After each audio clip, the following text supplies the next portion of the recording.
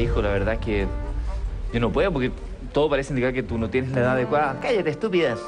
La ley la conozco, al revés, ya es derecho. Aquí tienes mi consentimiento firmado y solamente dime en qué habitación te encuentro. Revisa el papel. Bueno, ok. Tercer piso, habitación 14. Ahí está la marihuana. La marihuana. Marihuani, no te, no te no, saltó el otro.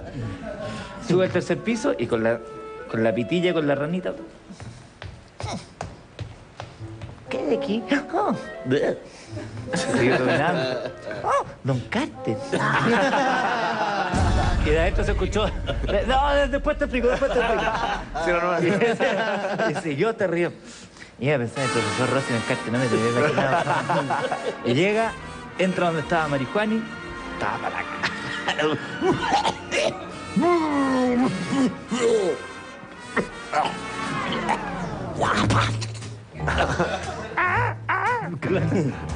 Pájaro más. ok. Esto será doloroso. Se empezó a sacar su trajecito así de marinerito que andaba trayendo. Dejó amarrada el hilito con la ranita en una sillita así. Le hizo un nudito para que no se lo robaran. Se sacó la ropa. Y aquí en esta parte del chiste nos vamos a fade para no contar los detalles de lo que ocurrió. A los pocos minutos el niño venía bajando ya de vuelta con la ranita amarrada en la, ti- en la pitilla y bajando. Muchas gracias, señora. Soy una persona feliz a partir de este momento. Y se va a retirar y la señora dice, hijo, hijo, solo una cosa, por favor. Toma asiento, ¿quieres un vaso de leche?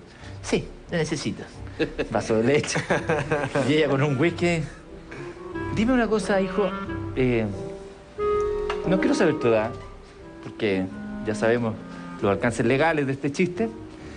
Entonces lo que te quiero preguntar, hijo, es ¿por qué un niño como tú junta tanta platita y viene a este lugar y pudiendo elegir a chicas bonitas? Mira, este vendaval de belleza que tenemos acá, has pedido la más enferma, la, más cochina que, que tengo yo, que prácticamente la tenemos ahí esperando que se la lleve el, el señor. Ahí está. La verdad que, está, no, o sea, nosotros, yo por lo menos no subo a ese piso, me da un asco. o sea, me da- ¿No viste las moscas en la puerta siendo ahorcadas? Una cosa terrible, ¿no? Nadie se atreve con ellos, sin embargo tú... Es muy sencillo. Es muy... Perdone, me deje el peor. Muy sencillo, señora.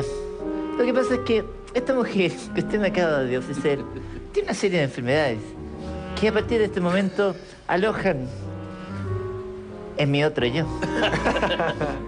Cuando yo llegué a mi casa, hoy está la niñera.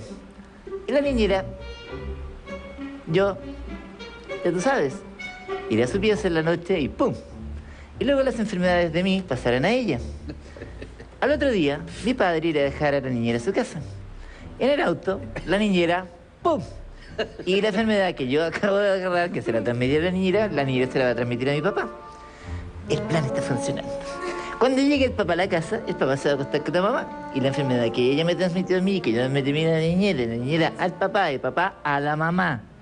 ¿Todo bien? Sí, hijo, continúa. Bueno, resulta que el otro día mi papá se va a ir a trabajar. Va a llegar el cartero. Y el cartero va a voltear, va a decir que hay carta. Todos sabemos que no hay carta. Va a entrar y se va a acostar con mi mamá. Y ahí mi mamá le va a pegar la enfermedad que yo me agarré aquí, que le va a hacer la niñera, la niñera a mi papá, mi papá a mi mamá, mi mamá se la va a pasar al cartero. Y a ese weón me quiero cagar que la bicicleta me atropelló la ranita. Bien,